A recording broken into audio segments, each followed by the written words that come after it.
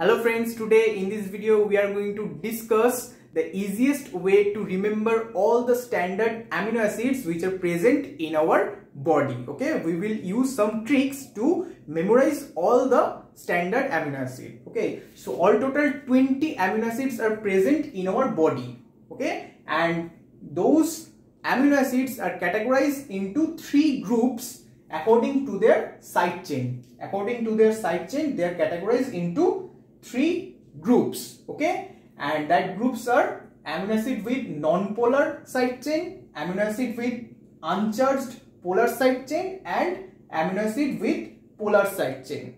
Okay, sorry, charged polar side chain, and all these categorized. And in this uh, non-polar side chain group, nine amino acids are present and in this uncharged polar side chain group 6 amino acids are present and in charged polar side chain group all total 5 amino acids are present and all these amino acids we will remember with a trick. That means with this sentence we will memorize all these amino acids. So first 9 amino acids which are non which have non-polar side chain that means non-polar means they didn't like the water environment or aqueous environment. That means these side chains are hydrophobic. Okay so these hydrophobic side chains which amino acid have hydrophobic side chain we can memorize it by this sentence that is live with GPA and PTM okay so here the first letter will we will recognize different amino acid with this with this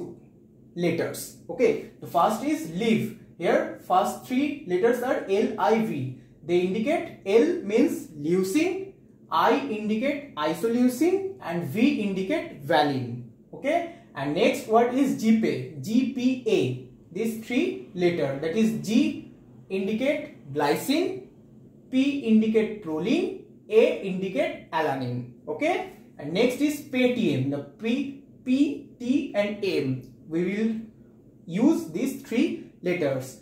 P for phenylalanine, T for tryptophan and M for methionine. Okay. So in this sentence that is live with GPA and PTM we will recognize or memorize all these amino acids. Okay.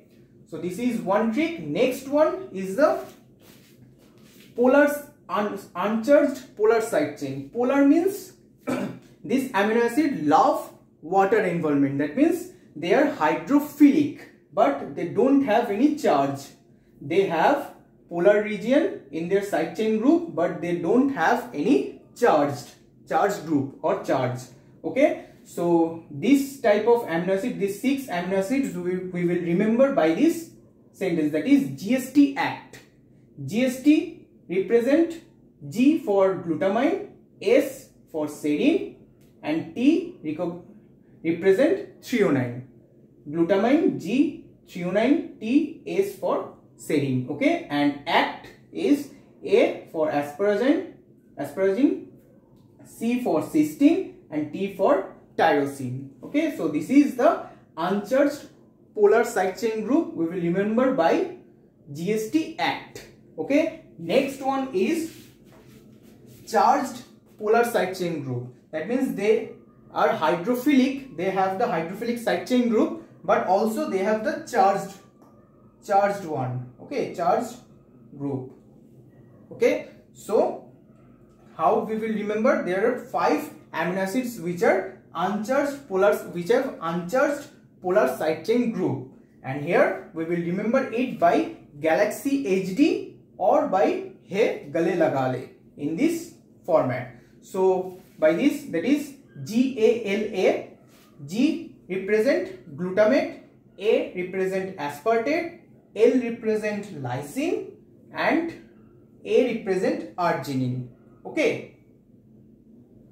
So G glutamate, A aspartate, L lysine and A arginine and H represent histidine. Okay. Or here H histidine, G glutamate, A aspartate, L lysine, A arginine. So in this way we can remember all the amino acids or we can memorize all the amino acid feature present in our body. That are the standard 20 amino acid. Okay but we can remember all the amino acid more prominently if we memorize their structure or if we know their structure. So in the in our next video we will easily we will uh, know the structure how to remember their structure more easily okay? Thank you for watching this video